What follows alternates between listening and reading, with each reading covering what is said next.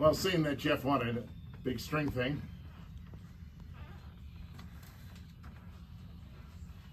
And the group participation blow. And the bright says this morning, happy third birthday to my grandson Frankie. He's listened to you his entire life.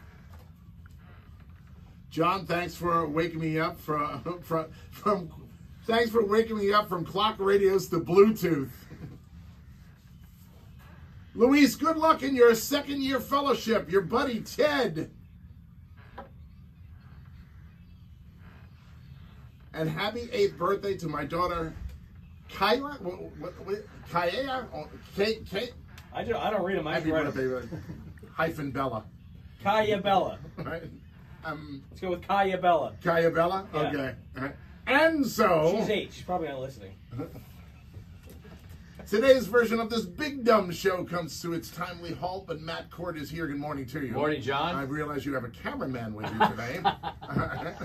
Give it up for Rich. All right, Well, Shazam! this is our this is our last crossover. Oh, well, well you, you're, you're welcome to be in the room tomorrow. I, I read the email. you read the email? Okay, fine. John right. wants it, I, and I get it. Uh, uh, uh, uh, yeah, well, you know, a lot of people, everyone, and the, McGrogan's so ticked at me that, that Right. he's, he's not going to be in the studio, and a whole bunch of friends. He had a limo re- ready for you. Yeah, yeah, a limo. He he thought he thought you know we used to do these these uh, St. Patrick's Day parties. I, I, I saw Right, right, I, and- I and- experienced it. Right, and, and we'd get in this limo, and we would go from Kildare to Kildare to Right. Kildare, and you know, and I still have a shirt at home that says, you know, if you're going to drink, drink all day, you have to start in the morning, right? And we would literally get off the air and get in the limo and just have this crazed drunken day.